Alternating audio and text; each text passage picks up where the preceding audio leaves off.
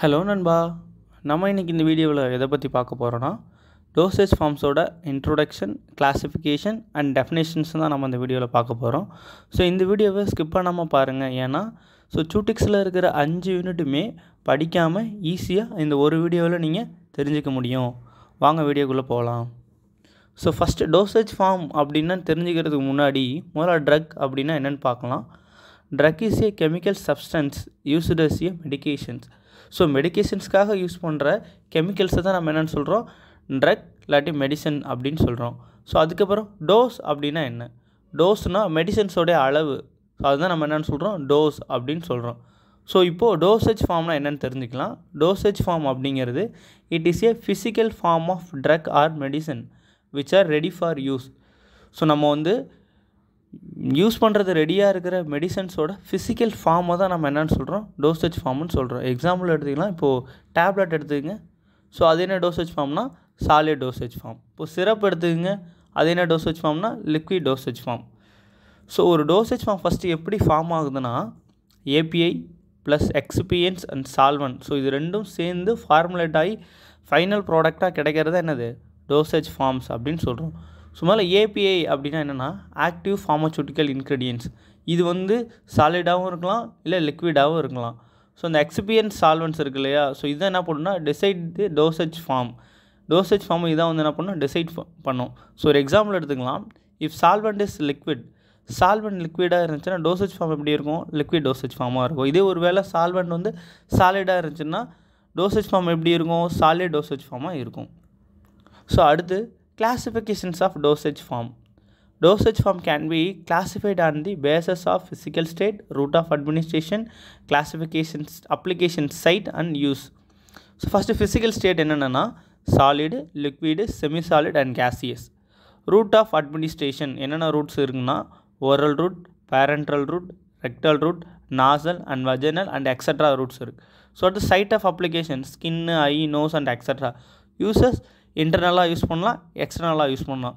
So இந்த நாலு பேசஸை வச்சு தான் நம்ம என்ன பண்ணுறோம் டோசேஜ் ஃபார்மை வந்து நம்ம வந்து கிளாஸிஃபை பண்ண போகிறோம் எப்படின்னா ஃபஸ்ட்டு நாலு solid dosage form liquid dosage form semi solid dosage form and fourth one gaseous dosage form so நமக்கு ஃபஸ்ட்டு இது மூணு மட்டும் தான் பார்க்க போகிறோம் என்னென்னா சாலிடு லிக்விடு செமி சாலிட் மட்டும்தான் ஃபஸ்ட் செமஸ்டரில் சிலபஸில் இருக்கும். கேஸஸ் வந்து நம்ம பின்னாடி வர செமஸ்டரில் வந்து நம்ம படி படிப்போம். ஃபஸ்ட்டு இந்த மூணை மட்டும் பார்க்கலாம். ஃபஸ்ட்டு சாலிட் டோசேஜ் ஃபார்ம் எடுத்துக்கலாம்.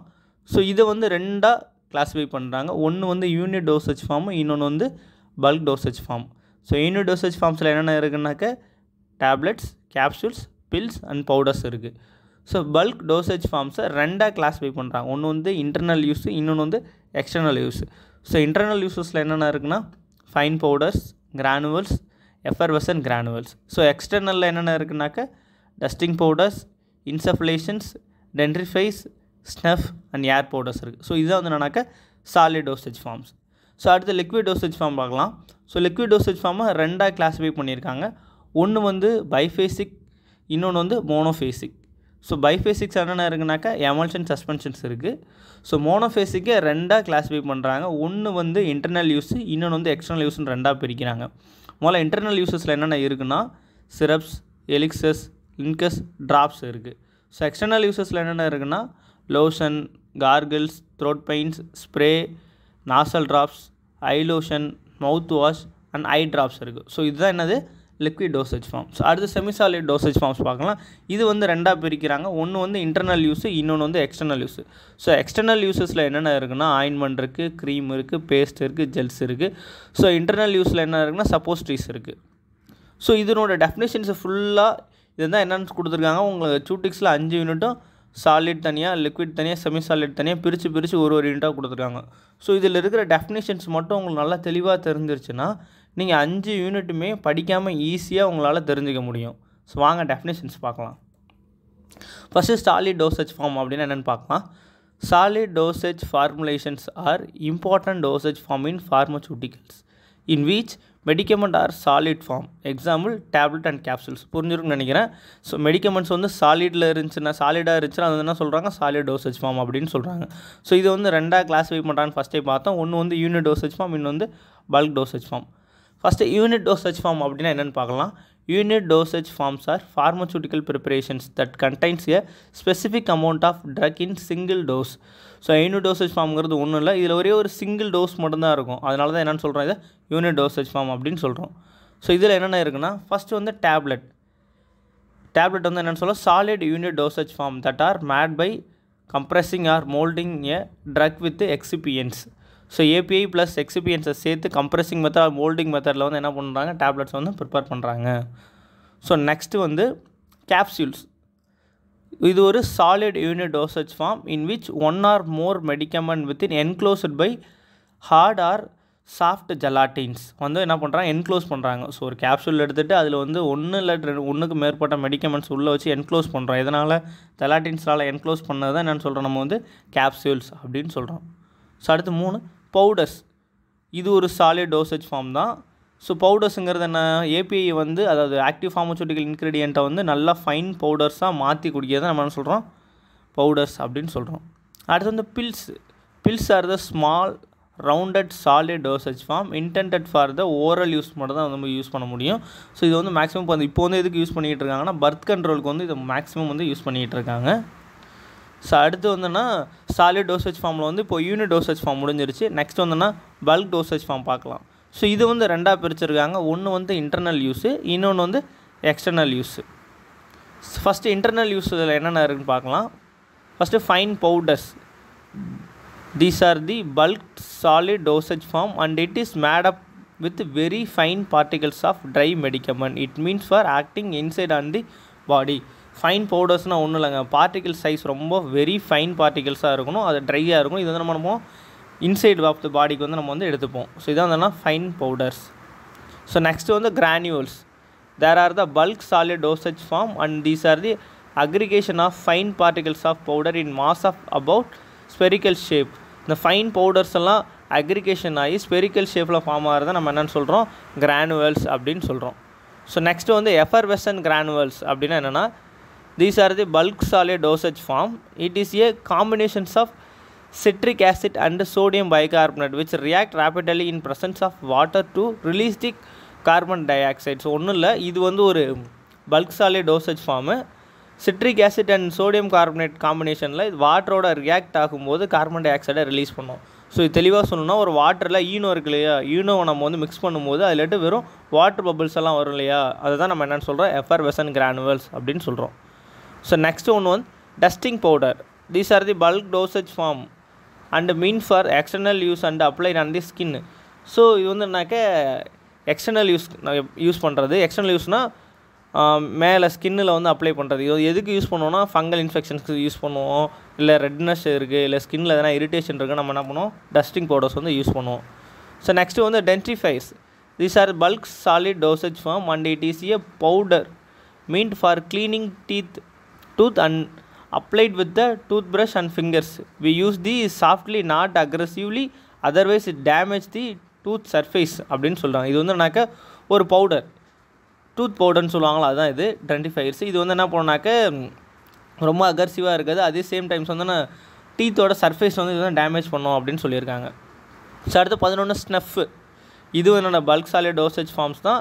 ஸோ ஸ்னஃப்ஸ்னால் உங்களுக்கு ஆல்ரெடி தெரிஞ்சிருக்கும். மூக்குப்பொடி. இது வந்து இதுக்கு பிரான்ச்சோ டைலட்டாஸாக இது வந்து யூஸ் பண்ணுறாங்க ஸோ நெக்ஸ்ட்டு வந்து ஏர் பவுடர்ஸ் ஏர் பவுடர்ஸ் இது ஒன்று ஒரு bulk solid dosage form so இது ஃபைன் பவுடர்ஸ் பார்ட்டிகல்ஸ் இருக்குல்ல அதை வந்து நம்ம ஏர் கிளீனிக்காகவோ இல்லை ஏர் கேவிட்டியை வந்து க்ளீன் பண்ணுறதுக்காகவும் நம்ம வந்து என்ன பண்ணுறோம் யூஸ் பண்ணுறோம் so next solid dosage forms ஃபுல்லாக முடிஞ்சிருச்சு. அடுத்து என்ன பண்ணுவோம்? லிக்விட் டோசேஜ் ஃபார்ம்ஸ் வந்து பார்க்கலாம் இப்போது லிக்விட் டோசேஜ் ஃபார்ம்ஸை மொத்தம் ரெண்டாக கிளாஸிஃபை பண்ணுறாங்க ஒன்று வந்து மோனோஃபேசிக் லிக்விட் டோசேஜ் ஃபார்ம் இன்னொன்று வந்து பைஃபேசிக் லிக்விட் டோசேஜ் ஃபார்ம் அப்படின்னு பிரிச்சிருக்காங்க.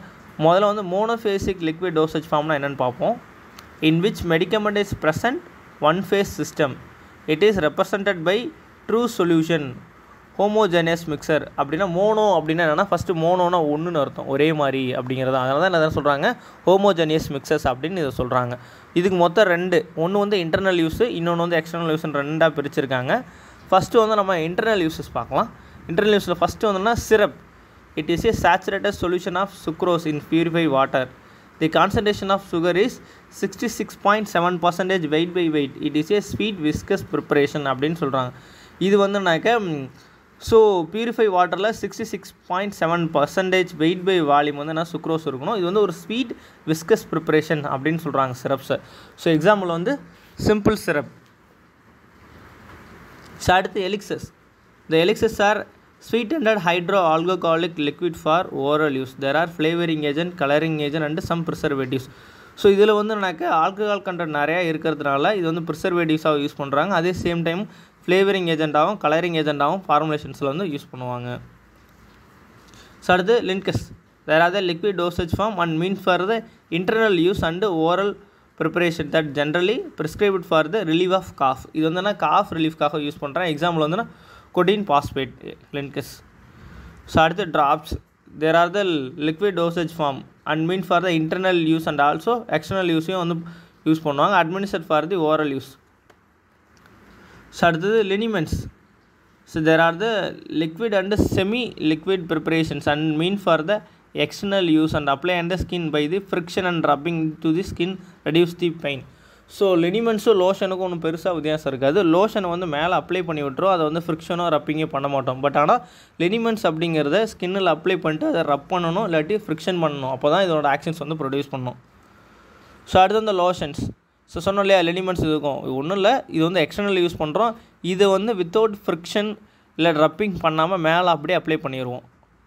இது அதான் என்னது? லோஷன் அடுத்து gargles gargles are aqueous solutions used to prevent or treat the throat infections they are usually available in concentrated form with direction for the dilution with warm water before use so கார்கிள்ஸுங்கிறது ஒன்றும் இல்லை throat இன்ஃபெக்ஷனுக்காக use பண்ணுற ஒன்று இது வந்து எனக்கு நம்ம அப்படியே டேரெக்டாக எடுத்துக்க முடியாது. ஏன்னா இது கான்சன்ட்ரேட்டாக இருக்கிறதுனால வார்ம் வாட்டரில் வந்து என்ன பண்ணணும்னா டைலூஷன் பண்ணி அதுக்கப்புறம் தான் நம்ம வந்து யூஸ் பண்ணணும். ஸோ இதுவும் மவுத் வாஷ் ஒரே மாதிரி தான் இருக்கும் ஸோ கார்கிள்ஸுங்கிறது கான்சன்ட்ரேட்டராக இருக்கும் டைலூட் பண்ணி யூஸ் பண்ணணும். ஸோ மவுத் வாஷுங்கிறது டேரெக்டாக நம்ம யூஸ் பண்ணுறது தான் ஸோ பின்னாடி பார்க்கலாம் அதை பற்றி ஸோ அடுத்து throat paint there are viscous liquid preparations used for mouth throat infection and it is glycerin and commonly used as a base due to the its viscous properly it has sweet taste so இது வந்து நான் throat இன்ஃபெக்ஷனுக்காகவோ இல்லை மவுத் இன்ஃபெக்ஷனாகவும் நம்ம வந்து என்ன பண்ணுவோம்? இது வந்து யூஸ் பண்ணுவோம். இது வந்து ஒரு ஸ்வீட் டேஸ்ட்டில் இருக்கும். ஸோ அடுத்து வந்து nasal drops there are the solution of drug that are the instilled into the nose with dropper these are usually aqueous so nasal drops அப்படிங்கிறது ஒன்றும் இல்லை. நேசல் கேவிட்டிஸில் வந்து யூஸ் பண்ணுற ட்ராப்பர் யூஸ் பண்ணி யூஸ் பண்ணுறது தான் ஸோ நெக்ஸ்ட்டு வந்து sprays there are the preparations of drug medicament which may aqueous alcoholic or glycerin there apply and applied to the mucous membrane of த்ரௌட்டாக இருக்கட்டும் இல்லை நோஸாக இருக்கட்டும் என்னது ஸ்கின்னில் நம்ம என்ன பண்ணுவோம் ஸ்ப்ரே பண்ணிக்கலாம். ஸோ அடுத்து ஐ லோஷன்ஸ் இந்த there are liquid dosage form and are aqueous solution used for the washing eyes the eye lotions are supplied in concentration form. There are required to be dilute with the warm water and immediately before use.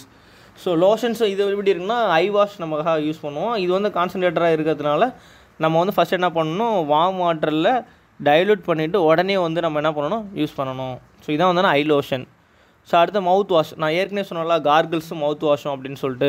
So கார்கிள்ஸ் வந்து கான்சன்ட்ரேட்டடாக இருக்கும். அதை நம்ம dilute பண்ணி use பண்ணுவோம். மவுத் வாஷிங்கிறது already dilute பண்ணி தான் இருக்கும்.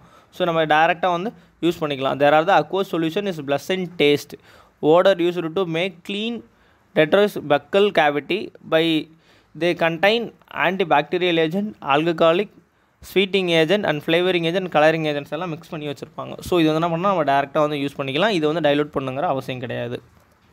So அடுத்து வந்து ear drops these are the solution of drug that are the instil to the ear with dropper these are generally used for the cleaning ear softening wax for the treatment of the mild infections so ear drops so என்ன பண்ணுவோம். ஏர் க்ளீனிங்க்கோ இல்லை ஏரில் எதாவது mild infection இருந்துச்சுன்னா வந்து இதை நம்ம பண்ணுவோம் யூஸ் பண்ணுவோம். வித் ட்ராப்பர்ஸ் ஹெல்ப்ஸோட வந்து இதை யூஸ் பண்ணுவோம். ஸோ இப்போ வந்துன்னா ஃபஸ்ட்டு லிக்விட் டோசேஜ் ஃபார்மில் வந்து மோனோஃபேசிக் முடிஞ்சிச்சு. அடுத்து பைஃபேசிக் லிக்விட் டோசேஜ் ஃபார்ம்னா என்னென்னு பார்க்கலாம். ஸோ பை அப்படின்னா ரெண்டுன்னு அர்த்தம். These are the liquid dosage form in which containing two liquid phases அந்த டூ லிக்விட் ஃபேஸஸும் இம்மிசிபிள் லிக்விட் ஃபேஸஸாக இருக்கும். ஒன்றோட ஒன்று மிக்ஸ் ஆகாது. ஸோ அதில் ஃபஸ்ட் என்னென்னா emulsion The emulsion is a biphasic liquid preparations containing two immiscible liquid, one of which dispersed as a minute globule into the other. This the mixed with the help of the emulsifying agent. So சொன்னால ரெண்டு immiscible phases அது liquid plus liquid தான் நம்ம என்ன சொல்லுவோம்? Emulsion சொல்லுவோம்.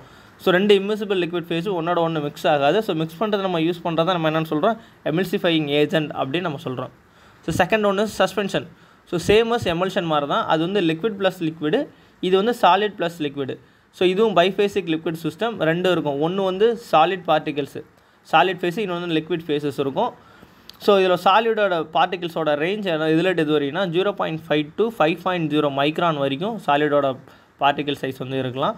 So இது ரெண்டுத்தையும் மிஸ் பண்ண சஸ்பெண்டிங் ஏஜென்ட்ஸ் ஸோ நெக்ஸ்ட்டு ஒன்று வந்து லிக்விட் டோசேஜ் ஃபார்ம் முடிஞ்சு நெக்ஸ்ட் நம்ம என்ன பார்க்க போகிறோம்னா செமி சாலிட் டோசேஜ் ஃபார்ம்ஸை பற்றி பார்க்க போகிறோம் தே ஆர் கண்டைனிங் போ both properties liquid as well as solid ரெண்டு ப்ராப்பர்ட்டிஸ் இருக்கும்.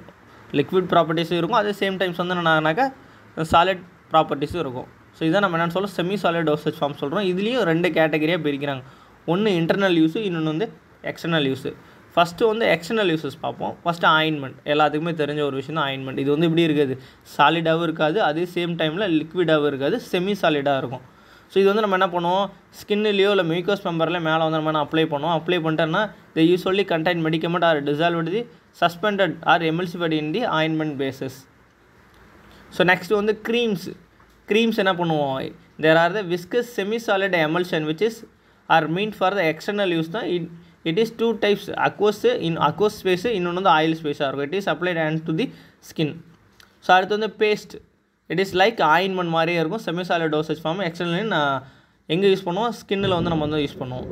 ஸோ நெக்ஸ்ட்டு வந்து gel gel is a solid or semi solid system it least two constituents consisting of a condensed mass enclosing and interpreted by the liquid so gel நம்ம use பண்ணலாம். Hair ஜெல்ஸாக use பண்ணுவோம். Face creams gels so இந்த மாதிரி இருக்குதா நம்ம என்ன சொல்லணும் ஜெல்ஸ் அடுத்து வந்தோம்னாக்கா இன்டர்னல் யூசஸில் என்னென்ன இருக்குது semi சாலிட்னா suppositories so So are are the solid dosage form which is the inserted into the body cavity other than mouth it is very rarely use when patient is not it is in the condition to take the medicine orally ஒன்றும் இல்லை இது வந்து ஒரு semisolid dosage form so இது வந்து பாடி கேபிட்டலில் use பண்ணுவோம் other than மவுத் மவுத்தை தவிர மீதி இருக்கிற பாடி கேபிட்டல் எல்லாத்தையும் யூஸ் பண்ணுவோம். இப்போ இது யூஸ் பண்ணுறது வெரி ரேர் ஸோ இது எப்போ யூஸ் பேஷண்ட்டோட கண்டிஷன் ரொம்ப மோசமாக இருக்குது ஓரளவு அவங்களால் மெடிசின்ஸ் எடுத்துக்க முடியலங்கிற பட்சத்தில் வந்து இது வந்து நம்ம வந்து யூஸ் பண்ணுவோம்.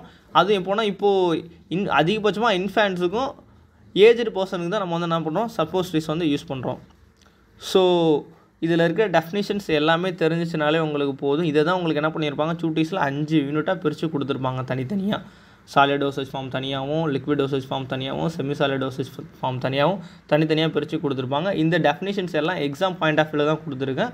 ஸோ நீங்கள் எக்ஸாமுக்கு இது டூ மார்க்ஸ் அளவு கண்டிப்பாக ஈஸியாக நம்ம யூஸ் பண்ணிக்கலாம். இதுவே வந்து டோசேஜ் ஃபார்ம் அப்படின்னு கேட்டாங்கன்னா ஒரு டென் மார்க் ரேஞ்சுக்கு இது ஓகே தான். ஸோ வீடியோ பிடிச்சிருந்துச்சுன்னா க மறக்காமல் லைக் பண்ணுங்கள் கமெண்ட் பண்ணுங்கள் உங்கள் ஃப்ரெண்ட்ஸுக்கு எல்லாத்துக்கும் ஷேர் பண்ணுங்கள் ஏன்னா நம்ம வந்து ஃபார்மோசியை வந்து தமிழில் டீச் பண்ணுறோம் ஸோ இன்னும் பின்னாடி சப்ஜெக்ட் பற்றின வீடியோஸ் நிறைய கண்டினியூஸாக நிறைய போடுவோம். தேங்க்யூ ஸோ இந்த மாதிரி வீடியோஸுக்கு மறக்காமல் ட்ரீம் ஃபார்மா எஜுகேட்டர் சேனலை சப்ஸ்கிரைப் பண்ணுங்கள்